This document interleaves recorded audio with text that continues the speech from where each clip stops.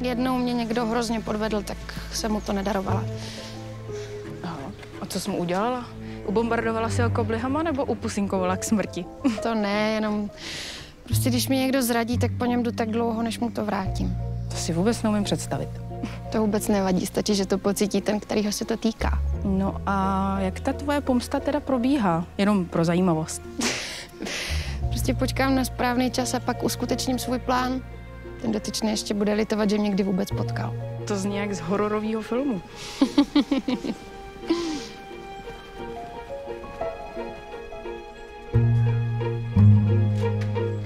Tak jsi měl pravdu. S čím?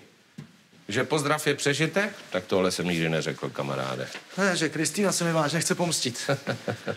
Slyšel jsem, jak to vypráví holkám. No vidíš, tak se ti potvrdilo to, co jsem říkal už dávno. A co chceš jako dělat? Já nevím.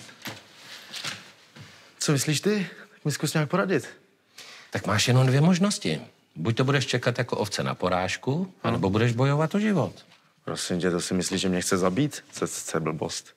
A tak třeba může být švihlá a něco takového opravdu plánovala. Prosím. Užijte si Prima Plus naplno bez reklam s tarifem Premium. Nejlepší zábava v celé galaxii.